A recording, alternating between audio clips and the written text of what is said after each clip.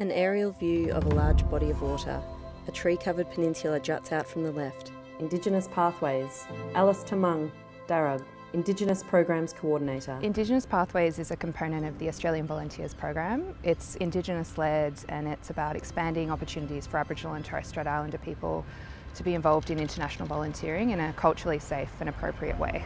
In an office setting, Alice interacts with colleagues. We have an Indigenous Volunteer Support and Advisory Panel, which is made up of people from a range of different backgrounds. Clinton Wilson, Adnyamathanha, Indigenous Advisory Panel. Consistently, we've seen people that are involved in international volunteering do develop key leadership attributes. The participants will take these attributes and these leadership qualities back into the community and the community will benefit from it.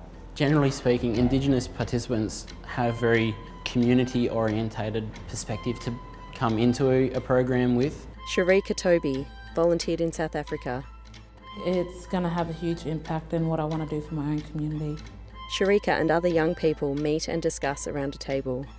The time now is just to stand and rise together and, you know, we can do these things, you know, we have the strengths. Alice. It's a life-changing opportunity to be able to share your skills and experience while connecting with another culture. There's also the great opportunity to bring the learnings that you have on assignment back into your own community to drive change.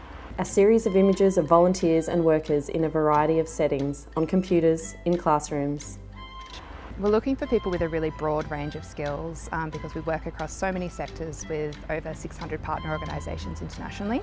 This includes areas like Indigenous rangers, health workers, language preservation and revival, arts, specialist medical roles, business development, graphic design. It's really quite an extensive range of sectors that we work in.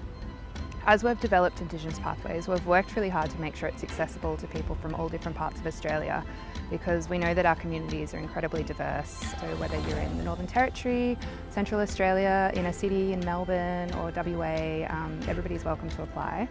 If you are interested in volunteering or you'd like to know more, you're welcome to contact myself or the panel and we can have a yarn with you about it. Indigenous Pathways, Australian Aid australianvolunteers.com slash indigenous dash pathways.